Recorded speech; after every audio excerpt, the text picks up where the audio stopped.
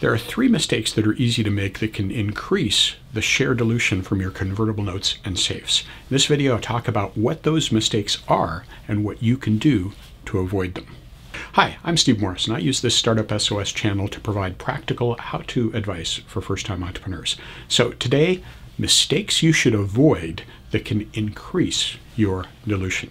Mistake number one is getting surprised by how many convertible securities you've got, whether those are notes or safes, and how much dilution that's going to cause you when it converts in a priced round.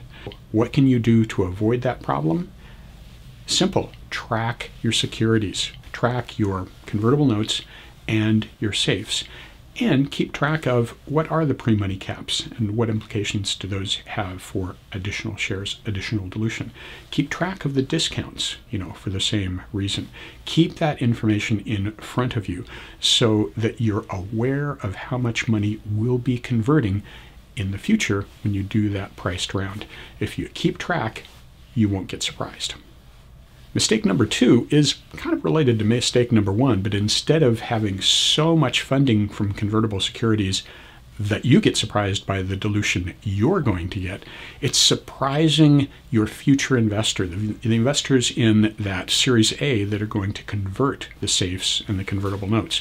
If you have too much money in convertible securities, say multiple millions of dollars, and then you go try to raise, say, a couple of million dollars from uh, a Series A, Wow, that's potentially a lot of dilution that the Series A investors are looking at when all of that safe money converts or all of those convertible notes converts. That can really put them off and make them a lot less motivated to do a priced round. So be careful about the dilution you're going to cause your future investors. What can you do to manage that? Well, what you can do is be proactive, develop a funding strategy think through how much money do you need to raise through your convertible securities, whether that's uh, safes or convertible notes.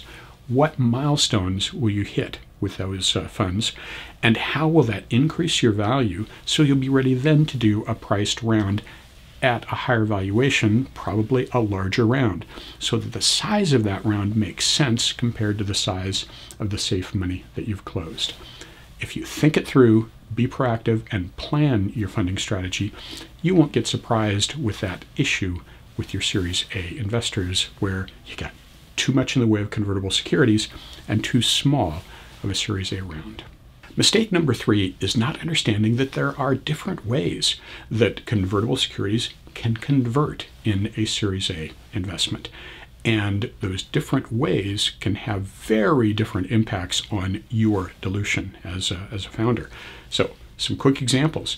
Uh, it's very common uh, in one scenario for a Series A investor to say, we want you to issue some options before we invest. So it increases the number of, uh, of shares in a fully diluted uh, case for your company. And then when we invest, we won't get diluted by those shares. The founders will. Um, but then we're okay with uh, converting the other investors, your convertible uh, securities, uh, on top of that. And yeah, that'll dilute us and it'll dilute the founders both. That's one scenario.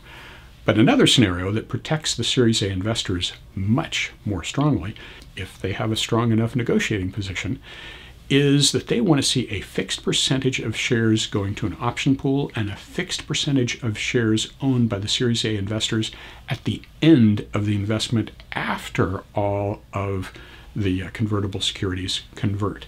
So, in other words, they want the founders not only to absorb uh, the impact of the dilution from the option pool, but they want them to absorb the dilution from converting all of those convertible securities. Needless to say, that's a great deal for the Series A investors, not such a great deal for the founders. But it all comes down to a negotiation. How much negotiating power does the Series A investor have versus the founders? If you have a lot of people ready to invest in your company, you can probably negotiate a better deal. If you're about to run out of money and you have one Series A investor willing to invest, they probably have a lot more negotiating power. So it all comes down to negotiation. So what can you do to avoid that mistake? Well, do your homework so at least you're prepared. You understand these different approaches and you understand the different impact on the founders of uh, the dilution of the different approaches. And of course, there are a lot of options in between those that you might be able to negotiate.